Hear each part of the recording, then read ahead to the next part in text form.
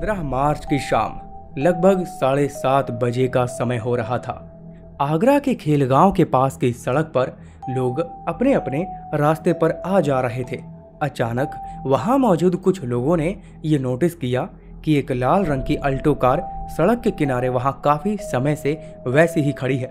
यह दृश्य देखने पर एक व्यक्ति उस कार के पास गया, लेकिन हैरानी की बात यह थी कि कार के अंदर ना ही कोई मौजूद था और ना ही आसपास उस कार का मालिक दिखाई दे रहा था। कार पूरी तरह से लॉक थी, लेकिन फिर भी अब उस व्यक्ति के अंदर से कुछ गट फीलिंग्स आने लगी और अजीब सी बेचैनी उसे घेरने लगी। जैसे कि उस व्यक्ति को ऐसा लग रहा हो कि उस कार में कुछ तो अजीब है। इसीलिए बिना देरी किए उसने तुरंत आगरा पुलिस को सूचित किया और पुलिस कर्मी ने भी तुरंत उसकी सूचना को दर्ज किया और वायरलेस के माध्यम से उस संदेश को फैला दिया। कुछ ही देर बाद इलाकाई पुलिस के दो सिपाही वहाँ पेट्रोलिंग बाइक पर पहुँचे और पुलिस ने कार का अच्छे से निरीक्षण किया। लेकिन बाहर से देखने पर उस कार में कोई भी असामान्य गतिविधि नहीं लग रही थी। कार अभी भी पूरी तरह से लॉक थी, इसीलिए उन्होंने एक चाबी बनाने वाले कारीगर को बुलाया और डुप्लीकेट चाबी तैयार करने में तकरीबन डेढ़ घंटे का समय लग गया। अंत में जब कार को खोलकर देखा गया तो उस कार में ऐसा कुछ भी नहीं पाया गया। पर एक आगे की सीट पर कागज़ का टुकड़ा मिला, जिसमें केवल एक फ़ोन नंबर लिखा हुआ था। पुलिस ने उस नंबर पर तुरंत कॉल किया और वहीं दूसरी तरफ़ किसी ऋषिपाल नाम के व्यक्ति ने फ़ोन उठाया।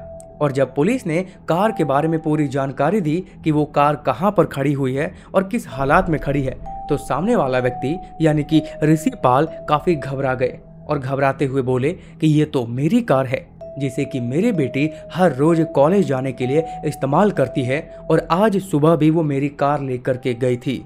यह सुनते ही पुलिस भी चौंक गई और फिर ऋषिपाल ने आगे यह भी बताया कि वो खुद और उसकी पत्नी दोनों मिलकर कई बार अपनी बेटी को फ़ोन कर चुके हैं, लेकिन उसका फ़ोन बार बार कॉल ट्राई करने पर भी बंद ही बता रहा है।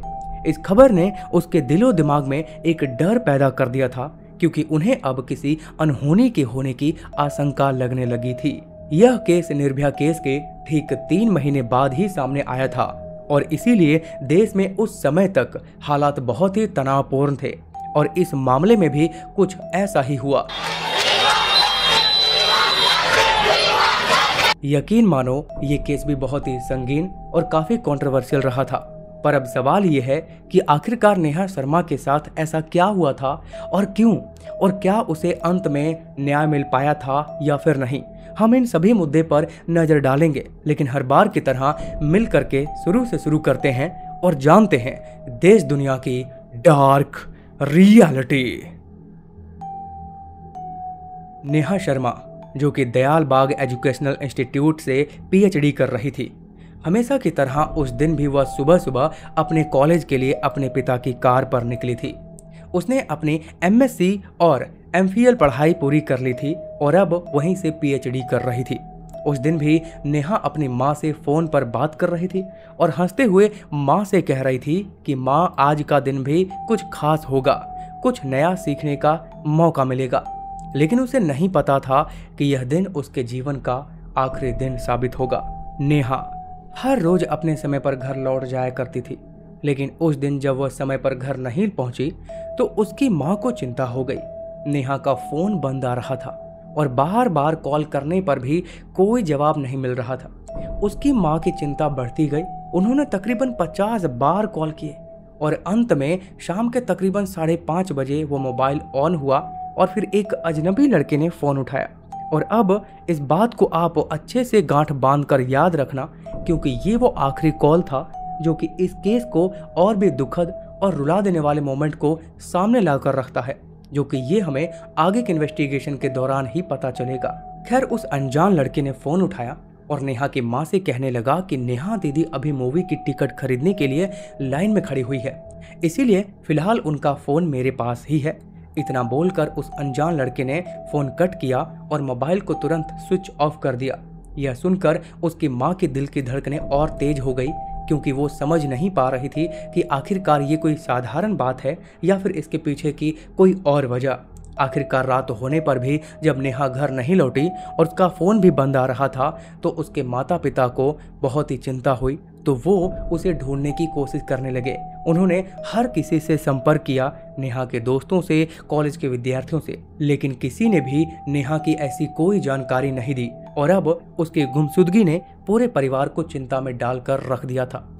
तकरीबन साढ़े सात बजे खेलगांव के पास सड़क किनारे वही अल्टो कार दिखाई पड़ी, जिसे राहगीरों ने देखा था। जब पुलिस ने यह खबर नेहा के पिता ऋषिपाल को दी थी तो उसके दिल की धड़कनें और तेज हो गई थी। उन्हें महसूस हो चुका था कि अब कुछ अनहोनी हो चुकी है। और फिर अगले ही दिन, यानी कि सुबह सुबह, नेहा के माता पिता पुलिस स्टेशन पहुँचे और वे पुलिस के साथ इंस्टीट्यूट पहुँचे। पुलिस ने दयाल बाग एजुकेशनल इंस्टीट्यूट में नेहा के दोस्तों, प्रोफेसरों और स्टाफ से पूछताछ की, लेकिन कोई भी खास जानकारी हाथ नहीं लगी। और आखिरकार एक छात्र ने बताया कि नेहा को आखिरी बार नैनो टेक्नोलॉजी लैब की तरफ़ जाते हुए देखा था। यह जानकारी मिलते ही पुलिस ने तुरंत उस लैब का रुख किया। लैब का दरवाज़ा बंद था और फिर चाबी मंगाई गई और उस दरवाजे को खोलकर देखा गया। तो वहाँ का दृश्य देखकर सबके रोंगटे खड़े हो गए। लैब के फर्श पर रक्त बिखरा हुआ था और वहीं कोने में नेहा का पार्थिव शव पड़ा हुआ था। उसकी सलवार घुटनों तक खिसकी हुई थी और उसका चेहरा ऐसा लग रहा था जैसे कि उसने अपने आखिरी पलों में बहुत ही दर्द को झेला हो। यह दृश्य वहाँ मौजूद सभी लोगों को झजूर कर रख देने वाला था। नेहा के शरीर पर कई जगह गहरे जख्म थे, खास करके गले और पेट के हिस्सों में। पास में ही एक कांच की पाइपेट टूटी हुई पड़ी थी, जिसका एक हिस्सा उसके शरीर में धंसा हुआ था। इसी के साथ वहाँ रक्त में लिपटे हुए बहुत सारे टिश्यू पेपर भी बिखरे हुए थे, जिसका साफ़ मतलब ये था कि अपराधी ये कृत्य करते समय बार बार अपने हाथों को साफ़ कर रहा था और शायद उसने सबूत मिटाने की भी काफ़ी कोशिश की थी। बाकी ये नज़ारा जितना गंभीर था, उतना ही सवाल खड़ा कर देने वाला। कि आखिरकार नेहा के साथ यह सब किसने और क्यों किया? और इस रहस्यमय गुत्थी को सुलझाने के लिए पहले तो लैब को सील कर दिया गया और फॉरेंसिक टीम को बुला लिया गया। नेहा के शव को पोस्टमार्टम के लिए भेज दिया गया और पुलिस ने घटना की बारीकी से जाँच करना शुरू कर दी। हालाँकि इसी दौरान नेहा के परिवार वालों का हौसला तो टूट ही रहा था, क्योंकि उन्हें नहीं पता चल पा रहा था कि वे किससे मदद मांगे और कौन इस भयानक कांड का दोषी था। पुलिस की जाँच तेज़ी से आगे बढ़ रही थी, क्योंकि लोगों का प्रेशर था, कॉलेज के विद्यार्थियों के साथ आम पब्लिक भी सड़कों पर उतर आई थी। हालाँकि कॉलेज के प्रोफेसर ने पुलिस को एक शक की निगाहों में रखते हुए एक लड़के का नाम बताया, उदय स्वरूप। उदय स्वरूप एक हाई प्रोफ़ाइल परिवार से ताल्लुकात रखता था, इसीलिए पुलिस को उससे पूछताछ करने में बेहद ही सतर्क रहना पड़ा। पूछताछ के दौरान उदय ने यह दावा किया कि वो तो नेहा को जानता ही नहीं है। और पुलिस को भी उस समय तक अभी कोई ठोस सबूत मिला ही नहीं था। और फिर ऐसे ही कुछ दिन और बीते, जो कि आगे के इन्वेस्टिगेशन के दौरान एक और नाम सामने आया, एक ठेकेदार विशाल शर्मा, जो कि पुलिस ने उसे शक के दायरे में रखते हुए उसे हिरासत में लिया और उसके घर की तलाशी ली। और घर की तलाशी लेने के दौरान कुछ कपड़ों में लाल रंग के धब्बे पाए गए। अब पुलिस को लगने लगा कि अपराधी के वे काफ़ी करीब आ चुके हैं, पर ऐसा नहीं था। क्योंकि विशाल को हिरासत में लिया गया और उसके कपड़ों की फॉरेंसिक जाँच के लिए भेज दिया गया तो ये मामला और भी उलझ कर रह गया। क्योंकि फॉरेंसिक जाँच के बाद ये पता चला कि जो विशाल के कपड़ों पे लाल धब्बे पाए गए हैं, वो रक्त के नहीं, बल्कि पेंट के हैं। क्योंकि विशाल का कहना सही निकला था कि वो दीवारों में पेंट का काम करता है। इस रिपोर्ट के आधार पर अब विशाल को रिहा करना पड़ा। और अब पुलिस के हाथ फिर से खाली हो चुके थे। और जब नेहा की पोस्टमार्टम की रिपोर्ट आई तो उससे ये तो साफ़ पता चला कि उसका देहांत अत्यधिक रक्त बह जाने से हुआ था। उसके शरीर पर कुल सत्रह गहरे कट के निशान पाए गए थे। लेकिन इस रिपोर्ट ने यह साफ़ नहीं किया था कि नेहा के साथ दुष्कर्म हुआ था या फिर नहीं। और अब तक की जाँच के दौरान पुलिस वालों के हाथ बिल्कुल खाली थे और समय तेज़ी से बीतता जा रहा था। नेहा के माता पिता के सब्र का बाँध भी अब टूटने लगा था और पुलिस पर जनता का दबाव बढ़ता जा रहा था, क्योंकि अब तक पंद्रह दिन बीत चुके थे। जिसके बाद जनता का दबाव बढ़ता देख पुलिस वालों ने इस जाँच को एक नए सिरे से शुरू करने का फैसला किया और फिर फॉरेंसिक टीम को फिर से उसी नैनो बायोटेक्नोलॉजी लैब में भेजा गया, जहाँ नेहा का शव मिला था। इस बार जाँच के दौरान फॉरेंसिक टीम को कुछ बालों के टुकड़े मिले जो शायद अपराधी के हो सकते थे। पुलिस ने उन्हें तुरंत फॉरेंसिक लैब भिजवाया और डीएनए प्रोफाइलिंग शुरू कर दी गई। कुछ दिन बाद जाँच रिपोर्ट आई, जिसमें बताया गया कि बालों का डीएनए प्रोफाइलिंग उदय स्वरूप से मेल खाती है, जो कि पुलिस की पहली पूछताछ में उदय ने नेहा को जानने से बिल्कुल इनकार कर दिया था।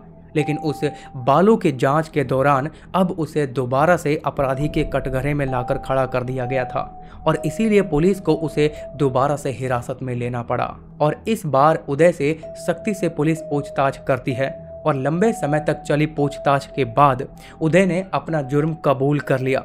उसने बताया कि वह नेहा को लंबे समय से पसंद करता था, लेकिन उसने कभी भी अपनी भावनाओं को ज़ाहिर नहीं किया। जब उसने अपने प्यार का इजहार किया तो नेहा ने उसे साफ़ इनकार कर दिया। नेहा का इनकार उसके अहंकार को ठेस पहुँचा गया और धीरे धीरे उसके मन में नफरत और गुस्सा पनपने लगा। और उस दिन जब नेहा लैब में अकेली थी तो उदय ने मौका का फ़ायदा उठाया और उसे डराने की कोशिश की। नेहा ने उसका सामना किया, लेकिन उदय ने गुस्से में आकर उसकी जान ले ली। लेकिन इससे पहले जब दोनों में बातचीत हो रही थी, तब उसी दौरान ये ड्राइंग बनाई। उदय ने। और ये ड्राइंग को लेकर दावा किया गया कि उदय पहले से ही इस घटनाक्रम को अंजाम देने को तैयार बैठा था और इसीलिए उसने कुछ ऐसी ड्राइंग उसकी तैयार की थी। और जब बातों ही बातों में दोनों झड़प हुई तो उसने वहाँ रखी हुई क्लोरोफॉर्म को नेहा को पहले सुंघाया, जिससे कि वो बेहोश हो चुकी थी। इसके बाद उदय उसके साथ दुष्कर्म करने की कोशिश करता है, इसीलिए उसकी सलवार घुटनों तक सरकी हुई पाई गई थी। पर इतने में नेहा को होश आ चुका था और वो उसका विरोध करने लगी और इसी विरोध के दौरान पास में रखी हुई पाइपेट को तोड़कर उसने लगातार उसके ऊपर वार किए, जिसके चलते नेहा का दम वहीं पे टूट गया और उसके बाद उदय ने सबको छिपाने की पूरी कोशिश की और सबूतों से भी काफ़ी छेड़छाड़ की। और जब उसे समझ में आ गया कि वो अब इसे ना तो छिपा सकता है और ना ही सबूतों को मिटा सकता है, इसीलिए वो वहाँ से उसे उसी हालत में छोड़ करके भाग गया लेकिन उससे पहले उसने लैब को लॉक कर दिया था, क्योंकि उसके पास लैब की दूसरी चाबी मौजूद थी और उसकी कार को चला करके बीच सुनसान रास्ते पर छोड़ आया था, जो कि वहाँ पर पाई गई थी उसकी अल्टो कार। लेकिन चंद बाल के टुकड़े, जो कि नेहा के हाथापाई के दौरान टूटे थे, उसी बाल से वो पकड़ा जाएगा, उसे उसका बिल्कुल भी अंदाज़ा नहीं था। जो कि वो पकड़ा भी गया था। लेकिन हाँ एक और बात जो कि मैंने आपको शुरू में ही खास करके ध्यान में रखने को कहा था कि तकरीबन साढ़े पाँच बजे शाम के समय जब नेहा की माँ ने नेहा को कॉल किया था उसके मोबाइल पर और जिस लड़के ने फ़ोन उठाया था, वो लड़का उदय ही था। पर दुखदाई और भयानक बात यहाँ पर यह थी कि जब नेहा की माँ को वो लड़का, यानी कि उदय, ये बता रहा था कि नेहा दीदी मूवी टिकट खरीदने के लिए लाइन में खड़ी हुई है। तब नेहा बेचारी ज़मीन पर पड़ी हुई थी और बेबस होकर अपनी माँ की आवाज़ सुन रही थी। और जरा आप सोच कर देखो कि ये सीन कितना ही भयानक और इमोशनल कर देने वाला था। खैर, उदय की गिरफ्तारी के बाद ये मामला अदालत में पेश किया गया। नेहा के परिवार ने उदय को सजा दिलाने के लिए हर संभव प्रयास किया। पब्लिक का दबाव भी उस समय काफ़ी बना हुआ था और उदय के खिलाफ काफ़ी ठोस सबूत अदालत में पेश किए गए। अदालत ने उदय को दोषी करार दिया, लेकिन सजा उतनी कड़ी नहीं सुनाई गई, जितनी की लोगों ने उम्मीद की थी। उदय को जेल की सजा सुनाई गई, लेकिन कुछ साल बाद वो जमानत पर रिहा भी हो गया था। पर फिर से उदय को जेल हो गई। लेकिन अब जाते जाते मेरा आप सभी से बस एक ही सवाल है, जिसका जवाब आपको ज़रूर देना है, कि क्या नेहा को सही मायनों में न्याय मिल पाया? और अगर यही न्याय है तो अब उम्मीद आप छोड़ ही दो कि इस बार लेडी डॉक्टर को कुछ न्याय मिल पाएगा। क्योंकि इस मामले में तो न जाने किन किन लोगों का हाथ रहा है। हमारे कानून में ऐसी क्या सजा होनी चाहिए? जो कि अपराधियों की अपराध करने से पहले सोच कर ही उसके रूह तक को कपा दे। कमेंट करके ज़रूर बताइएगा। लेकिन हाँ अगर हो सके तो अपने भाई को इंस्टाग्राम पे ज़रूर फॉलो कर लीजिएगा। धन्यवाद।